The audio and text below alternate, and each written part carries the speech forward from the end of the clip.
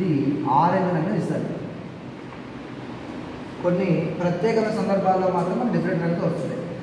So carrot అయితే పసుపు ఇస్తుంది కాఫీ అయితే ఆరెంజ్ రంగుని ఇస్తుంది. కాబట్టి ఇవన్నీ కూడా ఆమ్లాలు అని గుర్తుపెట్టుకోవాలి. సో ఆమ్లాలు కాబట్టి మనకి సాధారణంగా ఎరుపు రంగుని ఇస్తుంటాయి. అందుకే హెచ్సిఎల్ యొక్క పేజ్ ఎంత? ఒకటి. ఎసిడిక్ యాసిడ్ అయితే టూ పాయింట్ నైన్ నిమ్మరసం అయితే టూ పాయింట్ టూ క్యారెట్ రసం అయితే సిక్స్ కాఫీ అయితే ఐదు రూపాయలు కాబట్టి ఐదు రూపాయలు పెట్టుకోవాలి. మరి హైడ్రోక్లోరిక్ యాసిడ్ కానీ ఎసిటిక్ యాసిడ్ కానీ నిమ్మరసం కానీ ఏ ఇస్తాయి? ఎరుపు రంగుని ఇస్తాయి. క్యారెట్ రసం అయితే పసుపు రంగునిస్తుంది కాఫీ అయితే ఆరెంజ్ రంగుని ఇస్తుంది అని గుర్తుపెట్టుకోవాలి. మరి క్షారాల విషయానికి వస్తే sodium hydroxide sorry sodium bicarbonate. Sodium bicarbonate అనేది యొక్క పిహెచ్ వాల్యూ ఎంత అంటే పది. బలమైన ఆమ్లమా బల బలమైన బలమైన బలమైన క్షారమా? బలహీన క్షారమా? బలమైన క్షారమా? బలహీన క్షారమా? బలహీన క్షారం. బలహీన క్షారం ఇది నీలి రంగుని ఇస్తుంది. సోడియం బైకార్బోనేట్ అనేది ఒక బలహీన క్షారము ఇది. నీలం రంగును ఇస్తుందని గుర్తుపెట్టుకోవాలి. ఇక సోడియం కార్బోనేట్ విషయానికి వస్తే సోడియం కార్బోనేట్ విషయానికి వస్తే దీని పిహెచ్ విలువ ten point two sodium carbonate sodium carbonate యొక్క పిహెచ్ విలువ టెన్ పాయింట్ టూ ఇది కూడా బలహీన క్షారమే ఇది కూడా నీలం రంగు ఇస్తుంది. బలహీనం అయితే రంగిస్తుంది ఇక సోడియం హైడ్రోక్సైడ్ అనేది అత్యంత బలమైనటువంటి క్షారానికి ఎగ్జాంపుల్ ఇది. దీని యొక్క పిహెచ్కి ఎంతంటే పదమూడు. కాబట్టి బలమైన ఒక ఏ రంగులు ఇస్తాయి ఊదా రంగులు ఇస్తాయి ఊదా రంగుని ఇస్తాయని గుర్తుపెట్టుకోవాలి. మరి తటస్థ ద్రావణాల యొక్క తటస్థ ద్రావణాల యొక్క పీచ్ ఎంత ఏడు ఉంటుంది ఉదాహరణకి స్వేదన జలం అమ్మోనియా అమ్మోనియం క్లోరైడ్ అదేవిధంగా CH three COO NA sodium acetate. ఇవన్నీ కూడా తటస్థ ద్రావణాలే. వీటి యొక్క పిహెచ్ ఎంత ఉంటుంది ఖచ్చితంగా? ఏడు ఉంటుంది. మరి తటస్థ ద్రావణాలు ఏమి ఇస్తాయి మనకి? ఆకుపచ్చ రంగుని ఇస్తాయి. పిహెచ్లో తటస్థ ద్రావణాలన్నీ కూడా ఆకుపచ్చ రంగుని ఇస్తాయి అని గుర్తుపెట్టుకోవాలి. మరి పిహెచ్ స్కేల్ మనం శాస్త్రీయంగా వర్ణిస్తే ఒక మోల్ కన్నా తక్కువ ద్రావణంలో ఒక మోల్ కన్నా తక్కువ ద్రావణంలో హెచ్ ప్లస్ అయాన్ల గాఢతనే పిహెచ్ అని చెప్తాడు సోరెన్సన్ ఒక మోల్ కన్నా తక్కువ ద్రావణంలో హెచ్ ప్లస్ అయాన్ల గాఢతనే పిహెచ్ అని చెప్తాడు సోరెన్సన్ అని గుర్తుపెట్టుకోవాలి. కాబట్టి పిహెచ్ కింద కనిపెట్టింది ఎవరు? సోరెన్సన్ ఒక ద్రావణంలో ఉండేటువంటి మోల్ కన్నా తక్కువ ద్రావణంలో ఉండేటువంటి హెచ్ ప్లస్ అయాన్ల గాఢతను ఏమంటాం మనం? పిహెచ్ అంటాం. పి ఫర్ ప్రొటెన్స్ ప్రొటెన్స్ అనేది ఏ భాష పదము జర్మన్ భాష పదం ప్రొటెన్స్ అంటే ఏంటి? సామర్థ్యం గుర్తుపెట్టుకోవాలి. మరి ఆమ్లాల్లో H three O plus ion ఉంటాయి. క్షారాల్లో అయితే ఓహెచ్ మైనస్ అయాన్ గుర్తుపెట్టుకోవాలి. పిహెచ్కేల్ అనేది సున్నా నుంచి పద్నాలుగు వరకు ఉంటుంది. మరి సున్నా నుంచి ఏడు మధ్య ఉండేటివి ఆమ్లాలు. ఏడు నుంచి పద్నాలుగు మధ్య ఉండేటివి క్షారాలు. ఏడుకు దగ్గర ఉండేది ఏదైనా సరే బలహీనంగా ఉంటుంది. ఏడుకు దగ్గర ఉండేది ఏదైనా బలహీనంగా ఉంటుంది. సున్నాకి దగ్గర ఉన్న పద్నాలుగు దగ్గర ఉన్న బలంగా ఉంటుంది. అందుకే సున్నాకు దగ్గర ఉండేటువంటి ఆమ్లాన్ని ఏమంటారు? బలమైన ఆమ్లం అంటారు. పద్నాలుగు దగ్గర ఉండేటువంటి క్షారాన్ని ఏమంటారు? బలమైన క్షారము అంటారు. ఇక పిహెచ్ స్కేల్ కూడా ఒక సూచిక లాంటిది. ఆమ్లాలతో బలమైన ఆమ్లాలతో ఎరుపు రంగులు ఇస్తుంది బలహీన ఆమ్లాలతో కూడా ఎరుపు రంగులు ఇస్తుంది. కొన్నిసార్లు పసుపు ఆరెంజ్ లాంటి రంగులు నిలుస్తూ ఉంటాయి. మరి క్షారాలతో బలమైన క్షారం అనుకోండి ఊదా ఇస్తుంది. బలహీన క్షారం అయితే ఆ, నీలం రంగు ఇస్తుందని గుర్తుపెట్టుకోవాలి. ఇకపోతే తటస్థ ద్రావణాలతో పిహెచ్ అనేది ఆకుపచ్చ రంగుని ఇస్తుంది అని గుర్తుపెట్టుకోవాలి. హైడ్రోక్లోరిక్ యాసిడ్ యొక్క పిహెచ్ ఎంత? ఒకటి. ఎసిడిక్ యాసిడ్ అయితే టూ పాయింట్ నైన్. నిమ్మరసం అయితే టూ పాయింట్ టూ. క్యారెట్ రసం అయితే ఆరు. కాఫీ పొడి అయితే కాఫీ అయితే ఐదు అని పెట్టుకోవాలి మరి బలహీన క్షార బలహీన ఆమ్లాలు కాబట్టి హైడ్రోక్లోరిక్ యాసిడ్ అయినా ఎసిడిక్ యాసిడ్ అయినా నిమ్మరసం అయినా ఏ రంగునిస్తుంది ఎరుపు రంగునిస్తాయి మరి క్యారెట్తో ఏ రంగు వస్తుంది? పసుపు రంగుని ఇస్తుంది. కాఫీతో అయితే ఆరెంజ్ రంగుని ఇస్తుంది పెట్టుకోవాలి. ఇక క్షారాల విషయానికి వస్తే సోడియం బైకార్బోనేట్ కానీ సోడియం కార్బోనేట్ కానీ బలహీన క్షారాలు కాబట్టి మనకి ఎరకు వస్తుంది. నీలమనకు వస్తుంది. మరి అత్యంత బలమైన క్షారం అది సోడియం హైడ్రాక్సైడ్. దాని యొక్క pH ఎంత? పదమూడు. బలమైన క్షారం కాబట్టి ఎరకు వస్తుంది? ఊదారకు వస్తుంది అని గుర్తుపెట్టుకోవాలి. ఇక స్వేదన జలం ఆ తర్వాత అమ్మోనియం అదేవిధంగా సోడియం ఎసిటేట్ వీటిని ఏమంటాం మనం? తటస్థ ద్రావణాలు అంటాం మరి తటస్థ ద్రావణాలు ఏ రంగునిస్తాయి ఆకుపచ్చ రంగుని ఇస్తాయి గుర్తుపెట్టుకోవాలి. వీటి యొక్క పిహెచ్ ఎంత ఉంటుంది ఆ ఏడు అని గుర్తుపెట్టుకోవాలి. ఇప్పుడు మనం కొన్ని నిత్య జీవితంలో వాడేటువంటి ఆ ఆమ్లాల యొక్క పిహెచ్ విలువలు చూద్దాం. ఉదాహరణకి బ్యాట్లో మనం వాడేది బలమైన ఆమ్లమా బలహీన ఆమ్లమా? బలమైన ఆమ్లం వాడతాం. బలమైన ఆమ్లం వాడాలి. బలమైన ఆమ్లం హెచ్ టు ఫోర్ లాంటివి. దాని వాల్యూ సున్నా కంటే తక్కువ పెట్టుకోవాలి. జీరో పాయింట్ టూ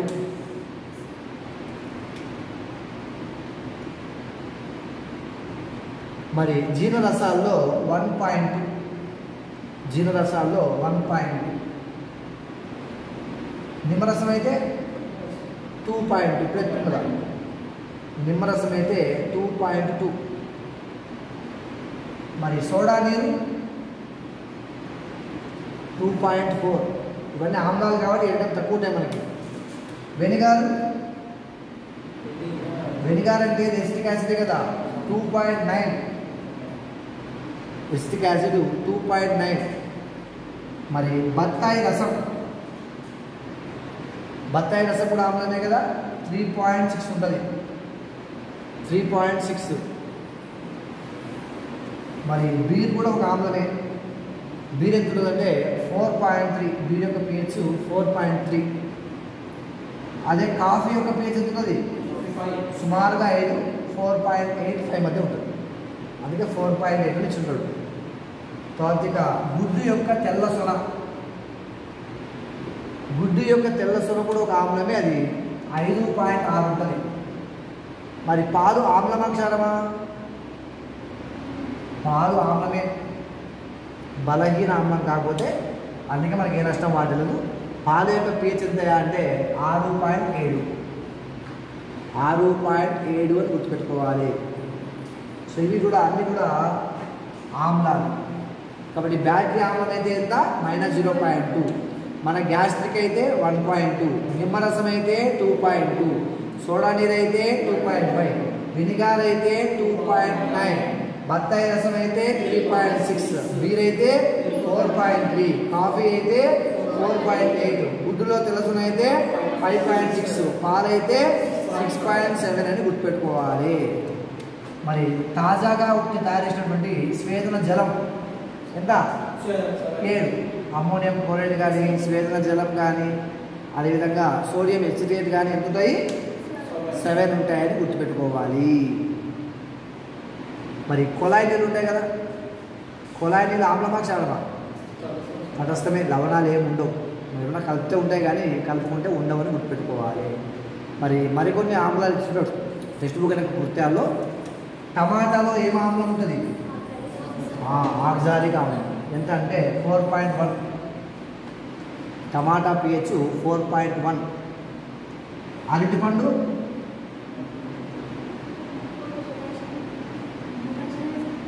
ఏ ఆమ్లం? అరటిపండు కూడా ఆమ్లమే కదా. దాని పిహెచ్ ఫైవ్ ఉంటుంది. అరటిపండు పిహెచ్ ఐదు.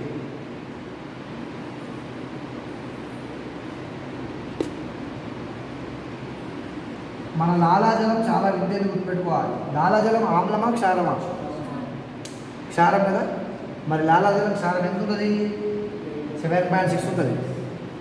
మనం భోజనం చేసిన తర్వాత దానికి క్షారత్వం తగ్గుతుందా పెరుగుతుందా? తగ్గుతుంది. కొంచెం ఆమ్లత్వం వస్తుంది. తినకముందు క్షారంగా ఉంటుంది. తిన్న తర్వాత కొంచెం ఆమ్లంగా మారిపోతుంది. ఎందుకంటే జీర్ణం కావడానికి ఏజెంట్లు తెలితే కదా. కాబట్టి లాలాజలం సెవెన్ పాయింట్ సిక్స్ మామూలుగా. కానీ తిన్న తర్వాత మాత్రం సిక్స్ పాయింట్ ఫోర్ నుంచి సిక్స్ పాయింట్ నైన్ ఉంటుందని గుర్తుపెట్టుకోవాలి. ఇవి మనం ఉపయోగించిన రకరకాల ఆమ్లాలు. ఇక క్షారాల విషయానికి పోతే చాలా ఇంపార్టెంట్. రక్తం అనేది ఆమ్లమా క్షారమా? క్షారం. రక్తం ఒక క్షారం. దాని పిహెచ్ విలువ సెవెన్ పాయింట్ ఫోర్ రక్తం యొక్క పిహెచ్ విలువ సెవెన్ పాయింట్ ఫోర్ అని గుర్తుపెట్టుకోవాలి. మరి సముద్ర నీరు. సముద్ర నీరు క్షారం మంది లవణం అనుకుంటారు బట్ అది కూడా ఒక క్షారమే. దానికి ఎనిమిది గుర్తుపెట్టుకోవాలి. సముద్రం నీరు యొక్క పిహెచ్ విలువ ఎనిమిది అని గుర్తుపెట్టుకోవాలి. మరి వంట సోడా విషయానికి వస్తే ఎయిట్ పాయింట్ ఫోర్ వంట సోడా విషయానికి వస్తే ఎయిట్ పాయింట్ టూ సారీ వంట సోడా విషయానికి వస్తే వంట సోడా యొక్క పిహెచ్ విలువ ఎయిట్ పాయింట్ టూ అని గుర్తుపెట్టుకోవాలి. ఇక అమ్మోనియా. అమ్మోనియా యొక్క పిహెచ్ ఎంత అంటే లెవెన్ పాయింట్ ఫోర్ అమ్మోనియా యొక్క పిహెచ్ లెవెన్ పాయింట్ ఫోర్ అని గుర్తుపెట్టుకోవాలి. మరి బట్టల సోడా. బట్టల soda eleven point sorry twelve point eight twelve point eight అత్యంత బలమైన క్షార వ్యాధి సోడియం హైడ్రాక్సైడ్. పద్నాలుగు ఉంటుంది. సోడియం హైడ్రాక్సైడ్ పద్నాలుగు. అత్యంత బలమైన క్షారం. మరి అత్యంత బలమైనది అది హైడ్రోక్లోరిక్ యాసిడ్. హైడ్రోక్లోరిక్ యాసిడ్ అత్యంత బలమైన ఆమ్లం సోడియం హైడ్రాక్సైడ్ అత్యంత బలమైన క్షారం. ఆ రెండు గుర్తుపెట్టుకోవాలి. తర్వాత రక్తం ఇంపార్టెంట్ రక్తం ఎంత? Seven point four. లాలజలం ఎంత? Seven point six. నిమ్మరసం ఎంత? Two point two. పాలు ఎంత? Six point seven. ఎక్కువ అనడానికి అవకాశం ఉంది. మరి ఆమ్లాలు క్షారాలు మన నిత్య జీవితంలో ఏ విధమైన ప్రభావాన్ని కలిగిస్తాయి? ఇది చాలా ఇంపార్టెంట్. సో మనం ఆమ్ల వర్షాల గురించి వింటాం కదా? మరి ఆమ్ల వర్షాలు కురవడం వల్ల ఏమైందంటే ఏమైతుంది? మొక్కల్లో జంతువుల్లో జీవం పోతుంది కదా?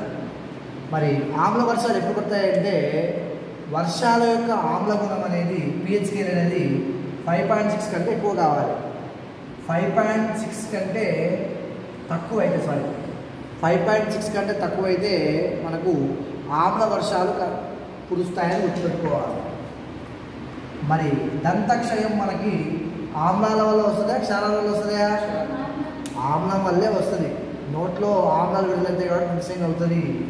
ఫైవ్ పాయింట్ ఫైవ్ కంటే తక్కువ అయితే మనకు దంతక్షయం ప్రారంభమవుతుంది. అందుకే మనం ఏం చేస్తాం? బ్రష్ చేస్తాం రోజు పొద్దున్నే.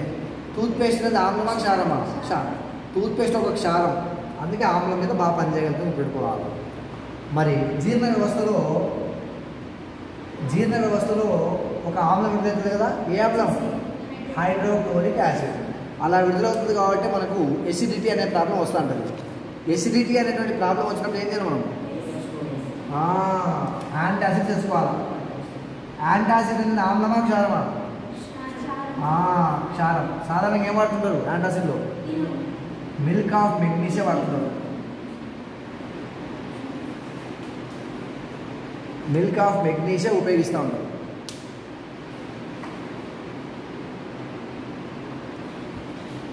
మరి ఇంతే కాకుండా కొన్ని జీవులు తమ ఆత్మరక్షణ కోసం అంటే స్వీయ రక్షణ కోసం కూడా మొక్కలు కొన్ని జంతువులు ఏం చేస్తాయంటే ఆమ్లాలను విడుదల చేస్తూ ఉంటాయి.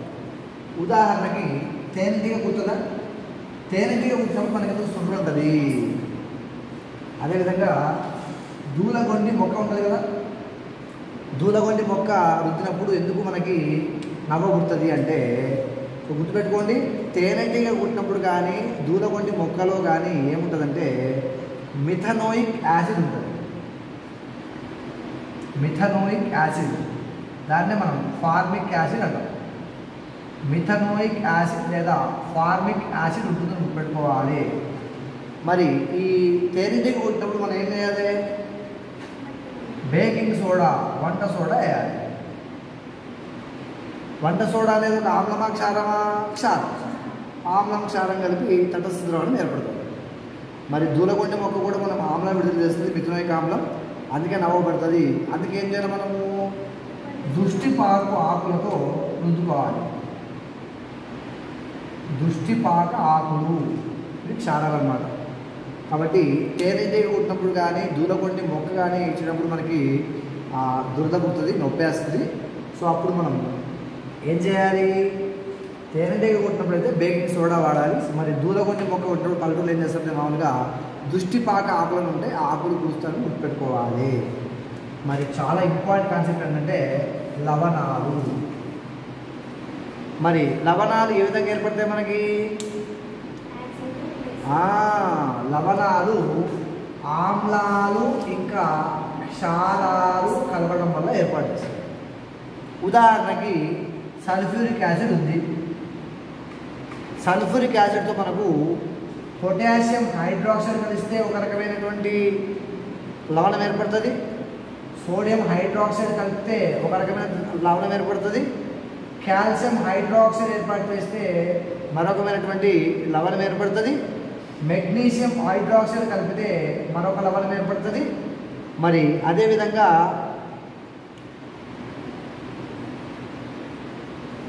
కాపర్ హైడ్రాక్సైడ్ కలిపితే మరొకమైనటువంటి లవణం ఏర్పడుతుంది. సల్ఫ్యూరిక్ యాసిడ్ను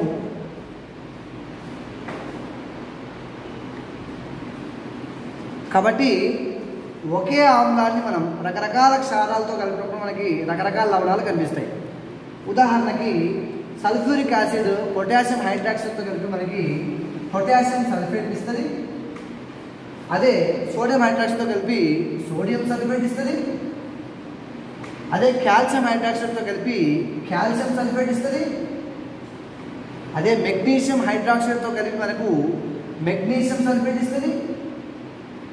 మరి కాపర్ హైడ్రాక్సైడ్తో కలిపి కాపర్ సల్ఫేట్ ఇస్తుంది.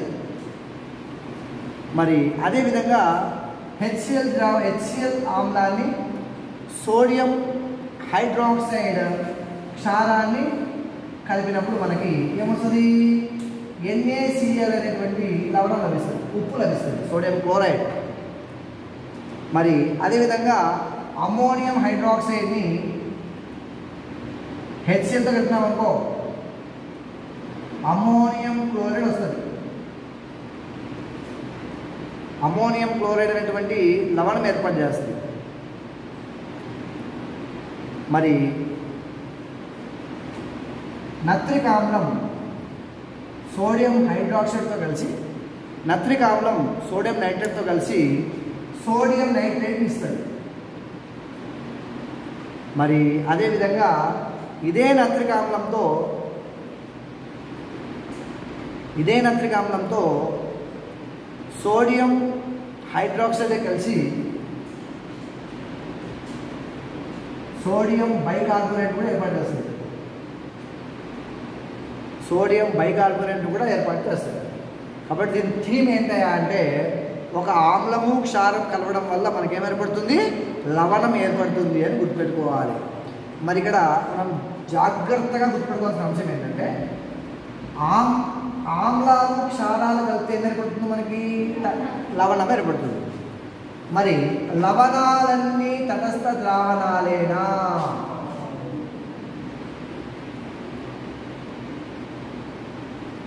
మరి పోనీ తటస్థ ద్రావణాలన్నీ లవణాలేనా?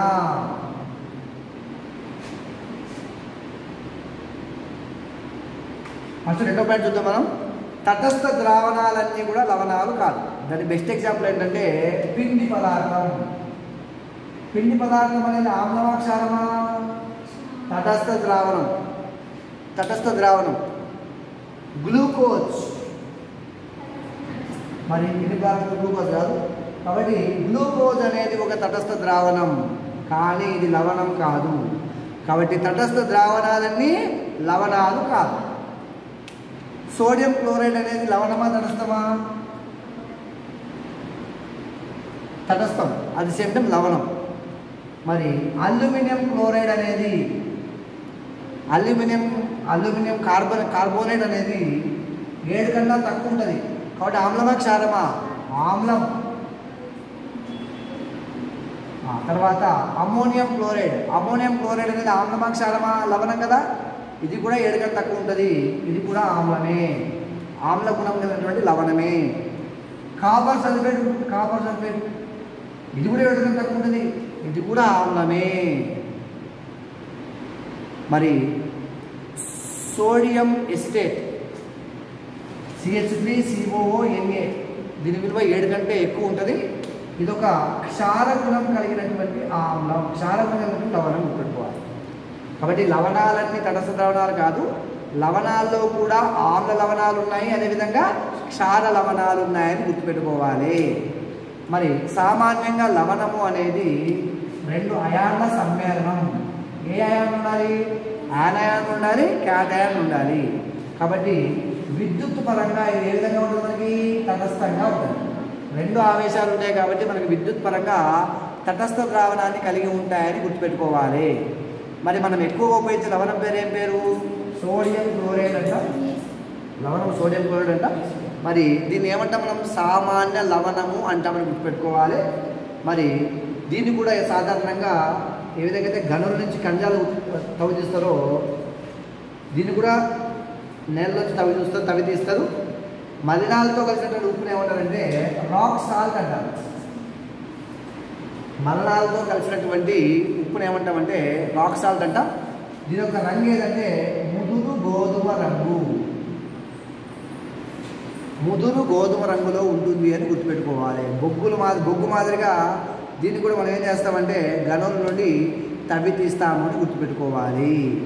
మరి సోడియం క్లోరైడ్ మనం సోడియం హైడ్రాక్సైడ్ తయారీలో కానీ బేకింగ్ సోడా తయారీలో కానీ బట్టల సోడా తయారీలో కానీ బ్లీచింగ్ పౌడర్ తయారీలో కానీ ఉపయోగిస్తామని గుర్తుపెట్టుకోవాలి.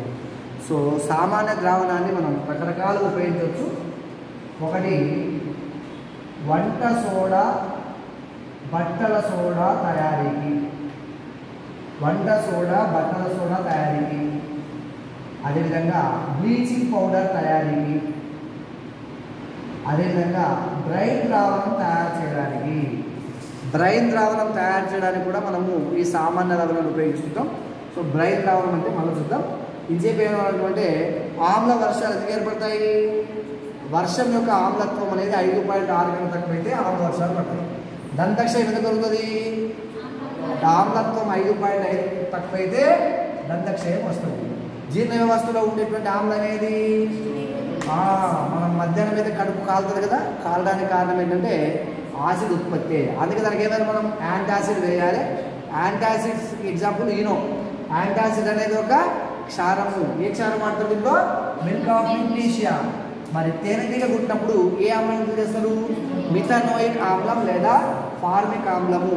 మరి దూలకొండి మొక్క వేసినప్పుడు కూడా మనకి సేమ్ అదే మిథానోయిక్ ఆమ్లం వస్తుంది. అప్పుడు ఏ ఆకులు రుద్దుకోవాలి? దృష్టిపాక ఆకులతో మనం రుద్దుకోవాలి.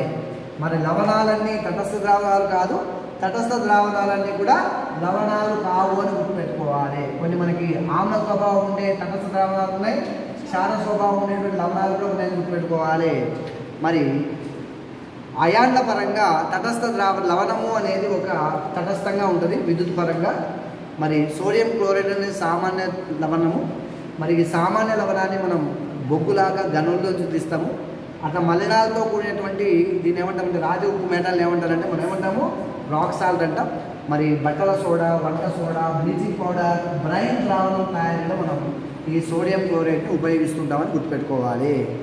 మరి చాలా ఇంపార్టెంట్ సోడియం హైడ్రాక్సైడ్ తయారు చేసినప్పుడు మనం బ్రెయిన్ బ్రెయిన్ ద్రావణాన్ని తయారు చేస్తాం గుర్తుపెట్టుకోవాలి సో సోడియం క్లోరైడ్ను ఇంకా బ్రెయిన్ బ్రైన్ ద్రావణాన్ని సోడియం క్లోరైడ్ను ఇంకా బ్రైన్ ద్రావణాన్ని చర్య పొందించి మనం విద్యుత్ వినియోగం చేసి విద్యుత్ వినియోగం చేసి సోడియం హైడ్రాక్సైడ్ ఏర్పాటు చేస్తామని గుర్తుపెట్టుకోవాలి. సోడియం క్లోరైడ్ను ఇంకా బ్రైన్ ద్రావణాన్ని రెండింటినీ కలిపి మనం సోడియం హైడ్రాక్సైడ్ను తయారు చేస్తాము అని గుర్తుపెట్టుకోవాలి. మరి మరి ఇంకెక్కడ ఉపయోగిస్తాం దీన్ని మనము? బ్లీచింగ్ పౌడర్ తయారీలో కూడా ఉపయోగిస్తాము బ్లీచింగ్ పౌడర్ తయారీలో కూడా మనం ఈ సోడియం క్లోరైడ్ ఉపయోగిస్తూ ఉండడం పెట్టుకోవాలి మరి బ్రైన్ ద్రావణానికి బ్రైన్ ద్రావణానికి క్లోరిన్ని పంపడం ద్వారా క్లోరిన్ని పంపడం ద్వారా సో తేమలైనటువంటి కాల్షియం క్లోరాక్స్ కాల్షియం హైడ్రాక్సైడ్ నుంచి కాల్షియం క్లోరాక్సైడ్ని ఏర్పాటు చేస్తాం. మరి ఈ సిఏఓ సిఎల్ టూ అనేది ఏమవుతుంది బ్లీచింగ్ పౌడర్ అవుతుంది సో బ్రెయిన్ ద్రావణాన్ని మనం క్లోరిన్తో జరబొందిస్తాం జర ఎలా ఉంటుందంటే కాల్షియం హైడ్రాక్సైడ్ దీన్ని మనం బ్రెయిన్ ద్రావణం అంటాం సారీ కాల్షియం హైడ్రాక్సైడ్ అంటాం.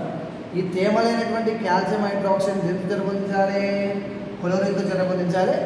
ఏర్పాటు చేస్తే మనకి CAO CL two plus H two ఏర్పడుతుంది. సో దీన్ని ఏమంటాం మనం? బ్లీచింగ్ పౌడర్ అంటాం. చాలాసార్లు అడిగాడు బ్లీచింగ్ పౌడర్ యొక్క సాంకేతిక నామం ఏంటి? సిఏఓ సిఎల్ టూ అని గుర్తుపెట్టుకోవాలి. సో బ్లీచింగ్ పౌడర్లో మనకేం కనిపిస్తుంది ఇక్కడ? క్లోరిన్ కనిపిస్తుంది కాబట్టి క్లోరిన్ ఎక్కడెక్కడ వాడతామో బ్లీచింగ్ పౌడర్ అంతా అక్కడ వాడుతూ ఉంటాం ముఖ్యంగా దీన్ని నిరంజన పరిశ్రమలో ఉపయోగిస్తారు. అంటే రంగులు పోగొట్టడం. అంటే వస్త్ర పరిశ్రమలో కానీ కలప గుజ్జు తయారు చేయడంలో కానీ అదేవిధంగా క్లోరోఫామ్ తయారీలో కానీ. క్లోరోఫామ్ తయారీలో కూడా మనం బ్లీచింగ్ పౌడర్ని ఉపయోగిస్తుంటామని గుర్తుపెట్టుకోవాలి. కాబట్టి ఇంకా రసాయన పరిశ్రమలో ఈ బ్లీచింగ్ పౌడర్ని ఒక ఆక్సీకరణిగా ఉపయోగిస్తారు.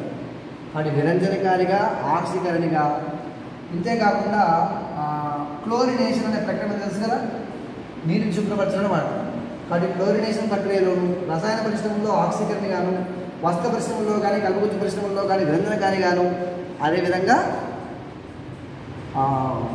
క్లోరోఫామ్ తయారీకి బ్లీచింగ్ పౌడర్ని ఉపయోగిస్తారని గుర్తుపెట్టుకోవాలి.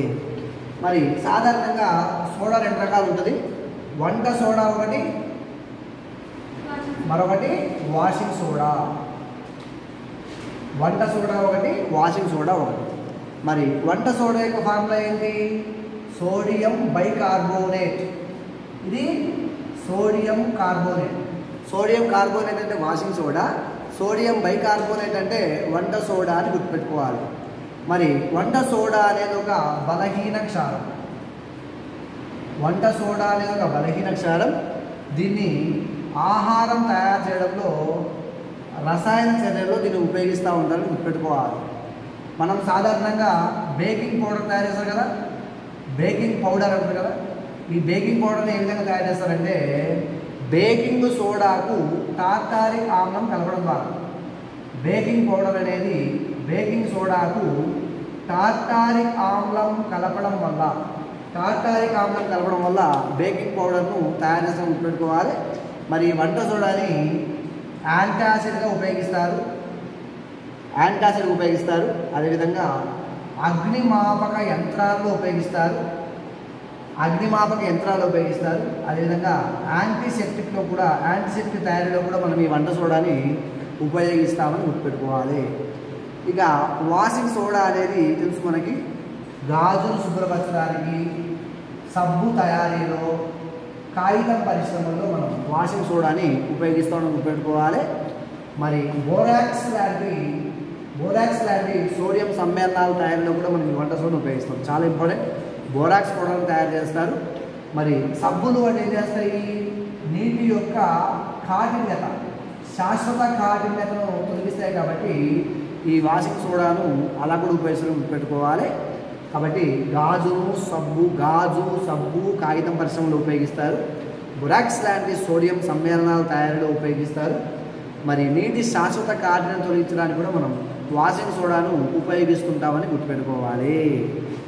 కాబట్టి సోడియం హైడ్రాక్సైడ్ అనేది ఒక బ్రైన్ ద్రావణం ఈ బ్రైన్ ద్రావణాన్ని మనం సోడియం పౌడర్ కలిపినప్పుడు మనకి? ఏమొస్తుంది మనకి బ్లీచింగ్ పౌడర్ వస్తుంది. బ్లీచింగ్ పౌడర్ యొక్క సాంకేతిక నామం ఏంటి? సిఏఓ సిఎల్ టూ అని గుర్తుపెట్టుకోవాలి. బ్లీచింగ్ పౌడర్ ఎక్కడ ఉపయోగిస్తారు? వస్త్ర పరిశ్రమల్లో కలప గుజ్జు పరిశ్రమల్లో క్లోరోఫోమ్ తయారు ఉపయోగిస్తారు. రసాయన పరిశ్రమల్లో ఆక్సిజన్ ఉపయోగిస్తారు. నీళ్ళు శుభ్రజలంలో క్లోరినేషన్ ప్రక్రియలో బ్లీచింగ్ పౌడర్ను ఉపయోగిస్తాం. మరి వంట సోడాకి వాషింగ్ సోడా తేడా ఏంటి? వంట సోడా అంటే సోడియం బైకార్బోనేట్. వాషింగ్ సోడా అంటే సోడియం కార్బోనేట్. మరి వంట సోడా అనేది ఒక బలహీన క్షారము ఆహారంలో ఉపయోగిస్తాం బేకింగ్ పౌడర్ని ఏ విధంగా తయారు చేయాలి మనం? బేకింగ్ సోడాను తాత్కాలిక కలిపి తయారు చేయాలి. మరి యాంటాసిడ్ అగ్నిమాపక యంత్రాలు ఉపయోగిస్తారు. యాంటీసెప్టిక్ కూడా వాడతారు. దీన్ని? వంట సోడాని అదే వాషింగ్ సోడాని అయితే గాజు సబ్బు కాగిత పరిశ్రమలో బొరాక్స్ లాంటి సోడియం సమ్మేళనాల తయారీలో నీటి యొక్క శాశ్వత కాటినత తొలగించడానికి ఉపయోగిస్తూ ఉంటారు గుర్తుపెట్టుకోవాలి. సో తర్వాత కాన్సెప్ట్ ఏంటంటే స్ఫటికీకరణం. సో వేడి చేసి స్ఫటికాలుగా మారిస్తే మనం స్ఫటికీకరణం అంటాం. సింపుల్గా చెప్పాలంటే ఒక ఒక పదార్థంలో నీటిని తొలగించే ప్రక్రియనే మనం నీటిని తొలగించే ప్రక్రియనే మనము స్ఫటికీకరణము అంటాం. ఫర్ ఎగ్జాంపుల్ అనార్థ కాపర్ సల్ఫేట్ యొక్క రంగు ఏమి? అనార్థ కాపర్ సల్ఫేట్ రంగు తెలుపు ఏ రంగులో ఉండదు. అదే దానికి వాటర్ కలిపినాం అనుకో ఆర్ద్ర కాపర్ సల్ఫేట్ రంగు ఏదయా అంటే నీలం రంగు. ఆర్ద్ర కాపర్ సల్ఫేట్ రంగు ఏందయా అంటే నీలం రంగు అని గుర్తుపెట్టుకోవాలి. ఒక లవణం యొక్క ఫార్ములాలో నిర్దిష్ట సంఖ్యలో ఉండేటువంటి నీటి అణువునే స్ఫటిక బలము అంటారు. ఎన్ని నీటి అణువులు ఉంటే అంత స్ఫటిక బలం ఉంటుంది. సో నీటిక నీటి అణువుల సంఖ్యనే మనము స్ఫటిక బలం అంటామని గుర్తుపెట్టుకోవాలి. మరి కాపర్ సల్ఫేటు కాపర్ సల్ఫేటు ఐదు నీటి అణువులను కలిగి ఉంటుంది. చాలా ఇంపార్టెంట్. కాపర్ సల్ఫేటు ఐదు నీటి అణువులు కలిగి ఉంటుంది. అదే వాషింగ్ సోడా అయితే పది కలిగి ఉంటుంది జిప్సం అయితే రెండు కలిగి ఉంటుంది. అందుకే కాపర్ సల్ఫేట్ యొక్క ఫార్ములా ఏంటంటే CSO four five H two O O అదే ఆర్ద్ర వాషింగ్ సోడా అయితే sodium carbonate ten H two O అదే జిప్సం అయితే జిప్సం అయితే calcium sulphate two H two O కాబట్టి జాగ్రత్త గుర్తుపెట్టుకోవాలి. ఆర్ద్ర కాపర్ సల్ఫేట్లో ఐదు లీటర్ అణువులు ఉంటాయి. ఆర్ద్ర సోడియం కార్బోనేట్లో పది లీటర్ అణువులు ఉంటాయి. సో ఆర్ద్ర జిప్సంలో మనకి రెండు లీటర్ అణువులు ఉంటాయి. సో ఎన్ని నీటి అణువులు ఉంటే అంత స్ఫటిక బలం ఉంటుంది. స్ఫటికీకరణం అంటే ఏం లేదు. జస్ట్ నీటి అణువుని తొలగించింది అని గుర్తుపెట్టుకోవాలి. తర్వాత చాలా ఇంపార్టెంట్ పిఓపి సో పిఓపి అంటే మనం ప్లాస్టర్ ఆఫ్ ప్యారిస్ అంటాం. So plaster of Paris formula ఏంటంటే CASO four half H two O దీన్ని గమనించండి. జిప్సం మీద nothing but plaster of Paris అందుకే మనం ఇంటి పైకప్పులు వేసేటప్పుడు పీఓపీస్ అంటారు కదా? పీఓపి కంటే స్ట్రాంగ్ ఏదంటే జిప్సం ఎందుకు? నీట్ అణువులు ఎక్కువ ఉన్నాయి కాబట్టి. ఇక్కడ రెండు అణువులు ఉన్నాయి ఇక్కడ మాత్రం. సగం అణువు మాత్రమే ఉంది. కాబట్టి జిప్సం యొక్క ఫార్ములా ఏమి? Two H two plaster of Paris formula ఏమి? హాఫ్ హెచ్ టూ అని గుర్తుపెట్టుకోవాలి. దీని ఏమని చదువుతామంటే? కాల్షియం సల్ఫేట్ హెమీ హైడ్రేట్ అంటాం. దీని ఏమంటాము? Calcium sulphate semi hydrate semi hydrate అంటారు సెమీ అంటే సగమే కదా. అందుకే హాఫ్ హెచ్ టూ అని గుర్తుపెట్టుకోవాలి. మరి ప్లాస్టర్ ఆఫ్ ప్యారిస్ని మనం ఎముకలు కట్టడంలో ఉపయోగిస్తాం. అదేవిధంగా విగ్రహాల తయారీలో వినాయక బొమ్మ తయారు దాంతోనే కదా. సో అలంకరణ పదార్థాలు తయారు చేస్తారు. అదేవిధంగా గోడలు కట్టడానికి కూడా ఉపయోగిస్తారు. గోడలు కట్టడానికి కూడా ఉపయోగిస్తారని గుర్తుపెట్టుకోవాలి ప్లాస్టర్ ఆఫ్ ప్యారిస్ని మరి జిప్సం మనం నీటితో కలిపినప్పుడు అది గట్టిగా అవుతుంది గుర్తుపెట్టుకోవాలి సో క్లోరిన్ ఫార్ బ్లీచింగ్ కూడా ఫార్ములా ఏమి? సిఏఓ సిఎల్ టూ అది important POP plaster of Paris formula important formula ఏంటి? CASO four half H two అని గుర్తుపెట్టుకోవాలి. కాపర్ సల్ఫేట్ ఆర్ద్ర ద్రా ఆర్ద్ర ద్రవణం అయితే ఎన్ని నీటి ఉంటుంది? ఐదు. ఆర్ద్ర సోడియం కార్బోనేట్ అయితే పది లీటర్లు కలిగి ఉంటుంది. ఆర్ద్ర జిప్సం లవణం అయితే రెండు నీటి అణువులను కలిగి ఉంటుందని గుర్తుపెట్టుకోవాలి.